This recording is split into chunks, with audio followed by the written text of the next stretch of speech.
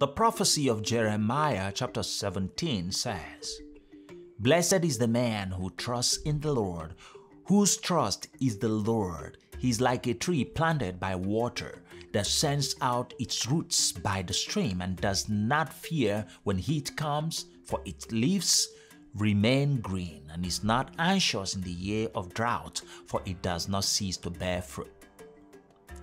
The Lord assures us, Anyone who comes to me shall not hunger, and he who believes in me shall never thirst.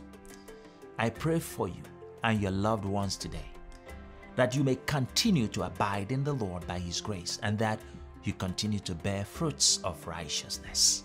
Amen. God love you. God bless you.